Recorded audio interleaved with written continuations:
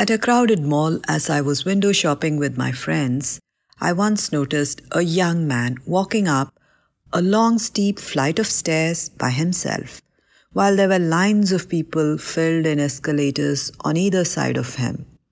I thought to myself, all of the people right there were trying to go to the same location, and they all had the same decision to make.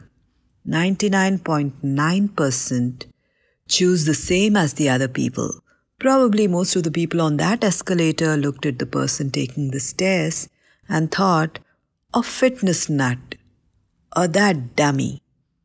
Here I am standing still, yet I get to the top before him. This made me think it is not just about the destination, it is about the skills and strength that you develop on the way to that destination that prepare you to handle the challenges of the next level.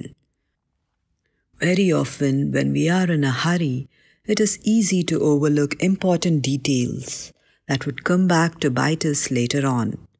Shortcuts in life might get us there faster, but because of lack of discipline and focus, we might miss out on opportunities for growth, which might eventually lead us astray. Be careful thinking that just because you were there, you have what it takes to stay there.